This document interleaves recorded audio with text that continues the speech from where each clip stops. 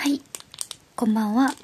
今日は、もちもちブラックサンダーきな粉とグラノーラサンダーを食べていきたいと思います。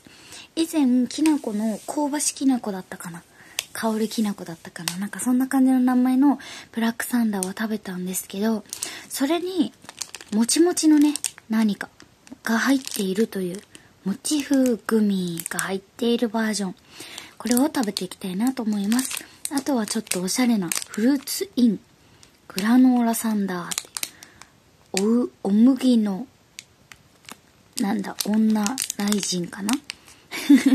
お麦 面白いですね。食べていきたいと思います。まずはね、もちもちから食べます。パッと見は普通の、あ、ペンが。普通のね、あの、ブラックサンダー。ただきます。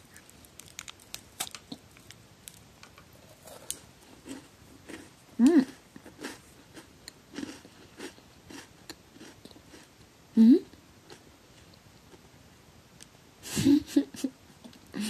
うん？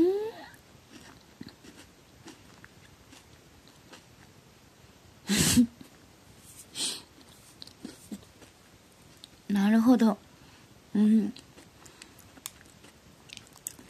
お餅風でもグミなので、ちょっと固めの、うん。うん。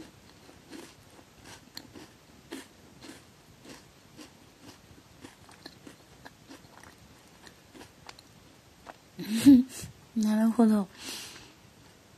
うん。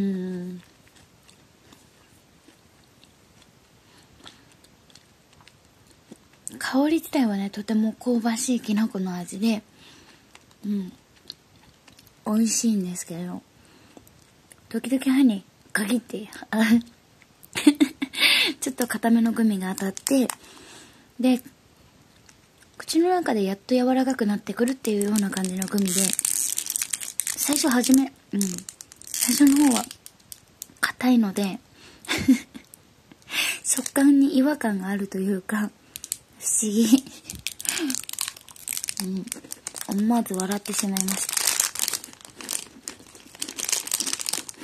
うーん。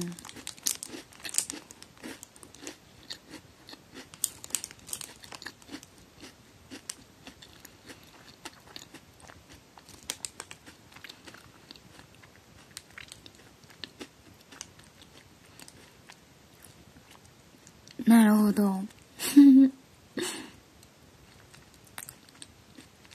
もちもちの弾力がね、ほんと、うん、強いので、ちょっと違和感があるかなっていう感じの、きな粉でした。うーん、グラノーラサンダー食べたいと思います。朝、朝食べたいですよね、これなんか。うん。わ、すごい。このフルーツの、なんかジャムっぽい感じの見た目。いただきます。うん。うん。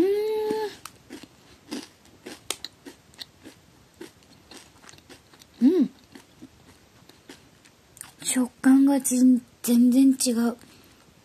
うん。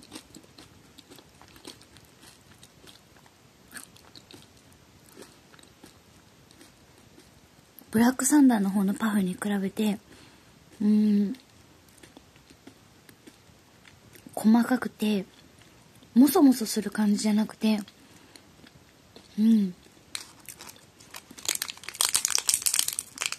フルーツグラノーラって感じの食感。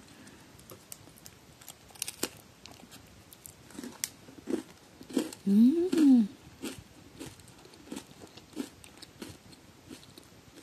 前にコーンフレークが入ってるバージョンのね、ブラックサンダーがあったんですけど、うん。食感としてはそっち寄りの感じですね。うん。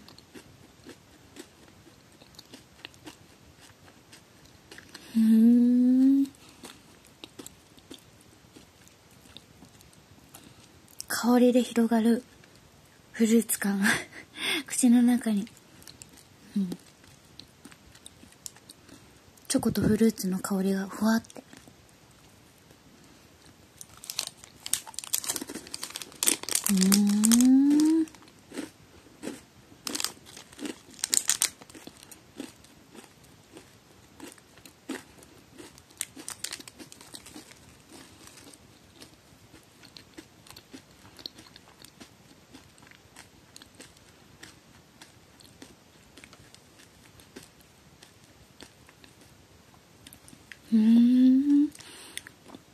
ちはもう完全におやつっていう感じなんですけどこっちは時間がない時の朝食じゃないですけどうんとなんか一本満足とかそういう系のスティック型のねあのやつの代わりに食べてもいいんじゃないかなっていう感じの、うん、朝食感というかを感じました。やっぱりフルーツグラノーラ美味しいですね。うん。いや フルーツグラノーラをブラックサンダーにしてしまうっていう発想がうん。新鮮でななんか すごいなって思いました。美味しかったです。はい。というわけで今日はもちもちブラックサンダーきな粉とグラノーラサンダーを食べてみました。おすすめする方はこっちかな。うん。ちょっとね、きな粉、これは、うん、お餅のグミの硬さがちょっとね、あの、衝撃的というか ちょっと邪魔する部分があったので、普通のね、香ばしきな粉の方がいいかなって思います。こっちはね、もう食感も、もうね、邪魔するものがないというか、もう、すごいね、うん、まとまりを感じたフルーツグラノーラ。チョコを入れちゃった。なんかうん。美味しい美味しい。朝ごはんって感じが。朝ごはん。まあ普通のね朝ごはん食べれる余裕がある人は朝ごはんぜひ食べていただきたいんですけど。ちょっと小腹にっていう感じかな。うん。美味しかったです。というわけでブラックサンダーの味変版を食べてみた動画でした。おしまい。